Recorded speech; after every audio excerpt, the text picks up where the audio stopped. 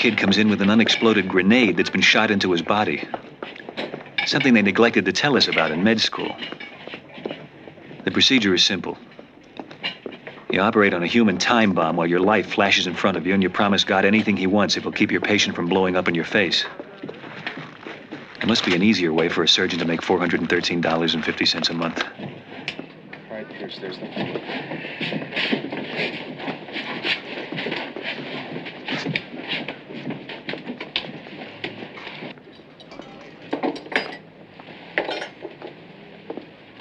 Get another glove, honey.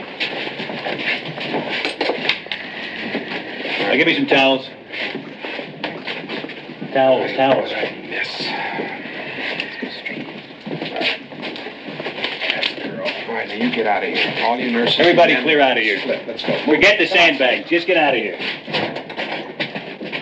I think that's long enough. Oh, we'll soon see. Let's go. Hey, take it easy. Give me some scissors. I think that's long enough. Well, no shaking.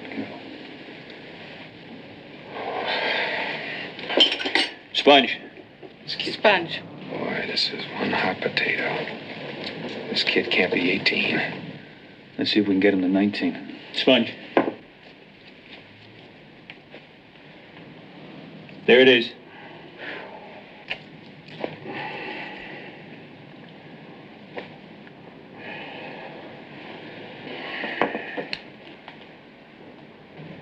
Just gotta lift it out.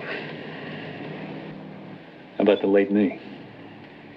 Give me some retraction. Got it? Yeah. Steady. Easy. Easy.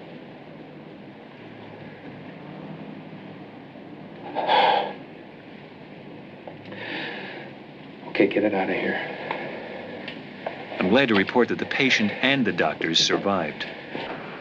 There followed another operation, which we natives here call the happy hour. It's a chance to meet your neighbor. It's a chance to do a little better than meet your neighbor. This is nice. Hmm. I bet we could dance great together, too. It really doesn't hurt? I've done a hundred hernias. You think I should have it done, huh? Absolutely. Take off your dress.